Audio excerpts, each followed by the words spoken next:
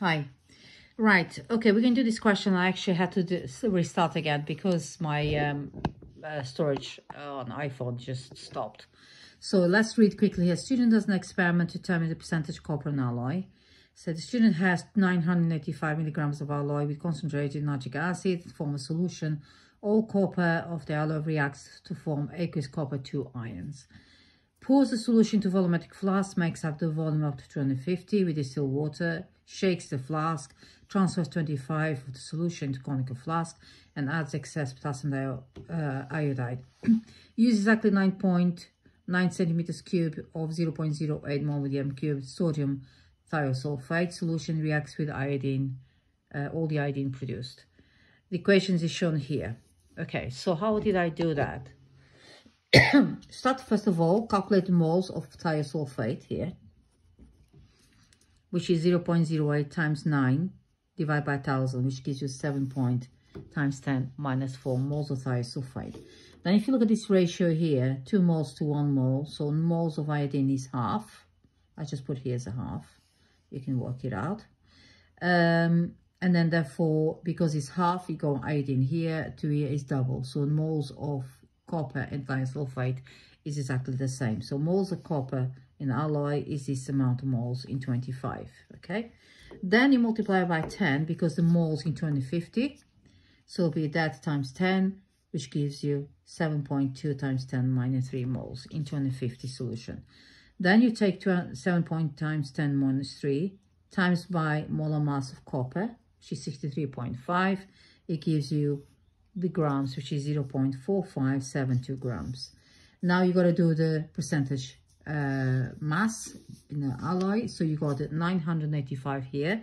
So you got 0 0.4572 divided by, you got to change that for grams.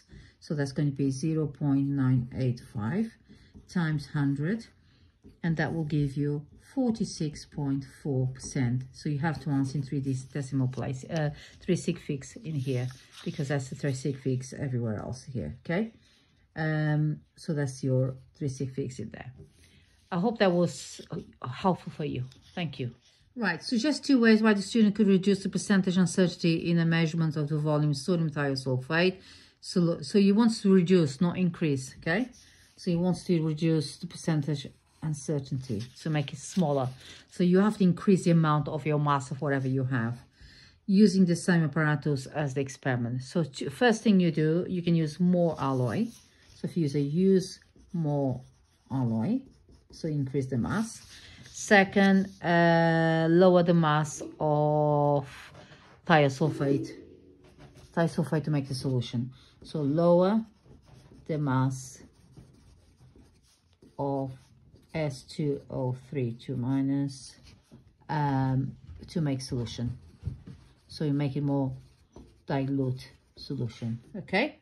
So you weigh, you weigh less than that. So therefore you get, you can either of them would work, will change for uncertainty. State role of iodine uh, in the reaction with sodium thiosulfate. The role for iodine, which I haven't got it here anymore, where is it? Um, here is um, the role for iodine thiosulfate is oxidizing agent because um, the copper gets reduced. Okay, so it's oxidizing agent.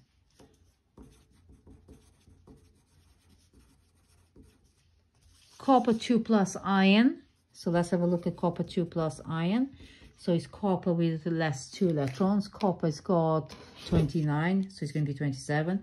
It's going to be 1s2, 2s2, 2p6 makes 10, 3s2, 3p6. Then you got 4s2 if it was a full copper. You lose those two. And then you got 3d9. Um, 3d9 there. Because the whole copper, you will have 4s2 there, isn't it? So you remove that, you get 3d9.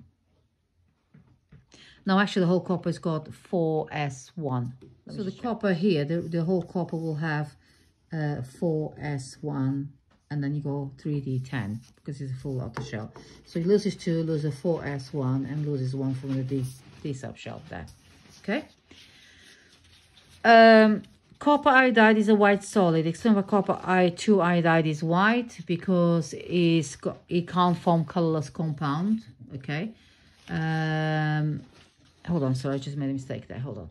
Just to clarify this question again, um, it says here, state the role of, uh, of iodine in this reaction thiosulfate. Um, I said something correct. So it'll be like thiosulfate plus iodine. So iodine is zero, goes to minus one. So iodine is reduced. So therefore iodine is oxidizing agent. Okay? All right? What I meant to say is that um, it's a wet solid because it's got a full 3D subshell. Subshell. Okay, so if you look at the copper itself, it's going to be 1s2, 2s2, 2p6, 3s2, 3p6, 4s1, and 3d10. So it hasn't got incomplete uh, D subshell, so it can't form colors. it can't form color compounds, okay? Um, and also, um, because it cannot form color compounds, because it cannot absorb, cannot absorb visible light. Okay, so therefore there's no color observing there.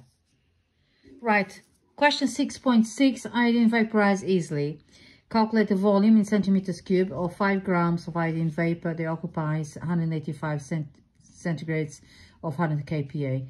Gas constant is this one here. So give your answer 3 sig figs. Okay, so what first we do, we got PV and RT. We need know moles, okay? We know grams and we know iodine is 126.9. So you add that at 2 it gives you, I think it gives you 100, uh, 253.8 for that one there. So the answer will be 0 0.0197 moles, okay? So once you got the moles, you go to this equation, rearrange to find volume. So rearrange will be V equals nRT divided by P. And then you got replace 0 0.01 moles, 197 moles, or times R, which is 8.31, times 458. Now the temperature has to be changed for Kelvin. So 458 is Kelvin because I gave you 130, 185, you add 273 to it. And pressure, yes, they give you 100, you got to change for PA. So you got to multiply by 1,000. So you put it on there, there, you put divide by 100,000. Then the volume you get is in meters cube. So you got to multiply that by 1,000 and multiply again by 1,000 okay? And then it will give you 750 centimeters cube. Because it's three sig figs so you can put 700 okay? That's the answer to your question. Um